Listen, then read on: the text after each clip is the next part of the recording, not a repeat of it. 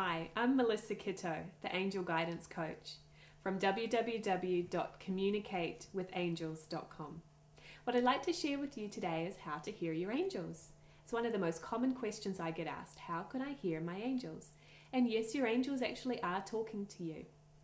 But actually, hearing your angels is only one of four ways that you might pick up communication from them. You could also see messages from them, you could feel messages from them, and you can also have an inner knowing when you receive messages from your angels.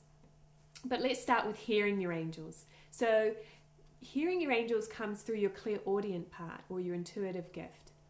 And when you receive messages from your clairaudient gift, you will maybe hear your name called and there's no one there, or have thoughts and ideas pop into your mind.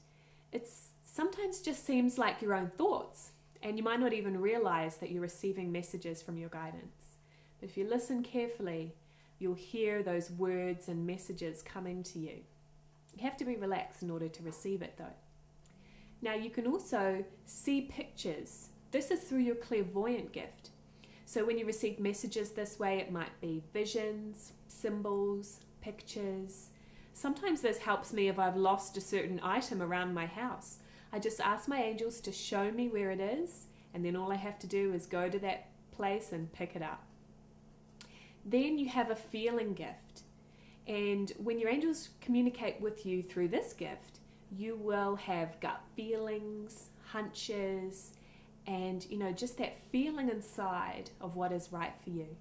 And so, you know, you'll just have this hunch that, okay, this is right for me. And so pay attention to that as well. Sometimes you just have that feeling in your body. And then you have a prophetic gift. And when you receive messages through this gift, it's like an inner knowing.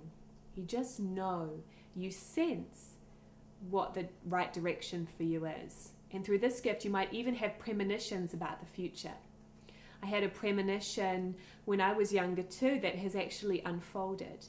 And it's interesting when you get those deja vus, it's because your angels have already shown you a premonition of what might be coming. So we have all four of these gifts. I call them your intuitive part, your visionary part, your feeling part, and your prophetic part. And it's very useful to unfold all four of these. But you'll find that you actually have strengths in one of them in particular. And you can actually discover what your first gift is through a private session that you'll also see on our site. Now, I'd like to offer you some more free information about these four gifts so that you can learn more and you know discover more about how you work with them. So I'd like to invite you to visit my website, www.communicatewithangels.com, and you can sign up to receive a free report, Three Secrets to Communicating with Your Angels. And you'll also get some free tips through email from me that's going to tell you even more about how you can receive messages from your angels and develop these intuitive gifts and really use it in a practical way in your life. So, again, that's www.communicatewithangels.com. Enjoy that free information. I think you're really going to get a lot from it.